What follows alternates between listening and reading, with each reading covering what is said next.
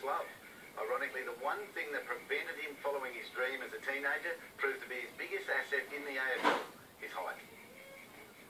Justin Clarke flies when he's on the football field and off it as well.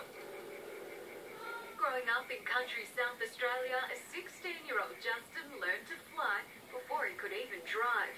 And it was all for one reason. Pilot in the Air Force, yeah.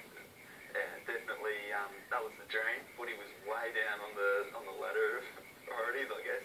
Justin, I'm looking at this plane and I'm thinking, you can't even, look at this, you just a bit under the wings. How do you fit in this?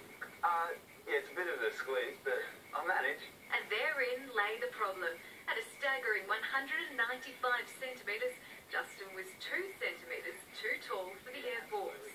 Yeah, I was pretty disappointed, but I guess it opened up a few more avenues for me. Topping the state in his Year 12 exam results, Justin planned to study aerospace engineering, but the AFL scouts sure didn't have a problem with his height, and his career soon took off in another direction.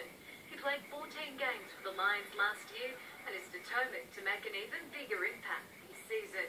Hopefully, yeah, I can really build into cementing my spot in the senior team. There's a certain freedom you feel from being up in the air that is totally removed from the football field. And when he stays off, Justin likes to get out here to the airport and get his head in the clouds once again. His teammates, though, aren't so keen to join him. No, no, I wouldn't go up. I don't like uh, planes at the best of times, but not the small ones, and probably not with Clarky flying it either. Dad's all too scared.